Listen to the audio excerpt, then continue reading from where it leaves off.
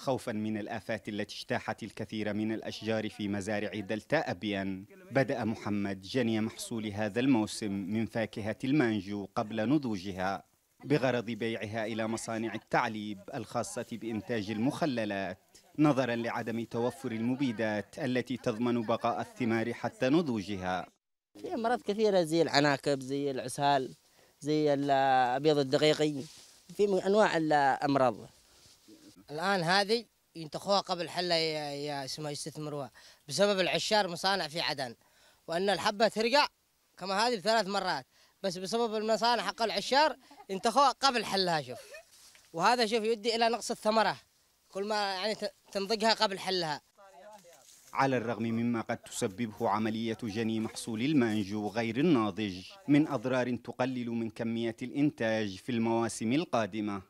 إلا أنها الطريقة الأنسب للمزارعين. قبل أن تتسبب الحشرات الضارة بإتلافها بعد أن تسببت في القضاء على الكثير من مزارع فاكهة المانجو خلال عامين.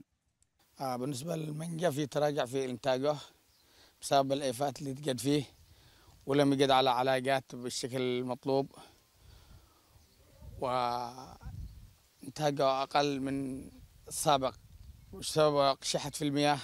من غلاء المشتقات النفطية السمدة ما فيش آه، مبيدات ما فيش كلها غلا هنا في منطقة حلمة التي تمتلك ثاني أكبر مساحة زراعية في دلتا أبيان بعد منطقة باتيس. يرى المزارعون أن الاهتمام بزراعة المانجو بدأ في التراجع مؤخرا حيث شكل غياب الاهتمام الحكومي سببا رئيسيا لتقليص المساحات المزروعة. خصوصا بعد أن تسببت السيول التي ضربت المحافظة خلال الفترات الماضية في جرف الكثير من الأشجار دون أن تسهم السلطات في إيجاد معالجات تقلل من حجم الخسائر التي لحقت بالمزارعين. ما دفع الكثير منهم إلى زراعة محاصيل أخرى أقل تكلفة وجهد.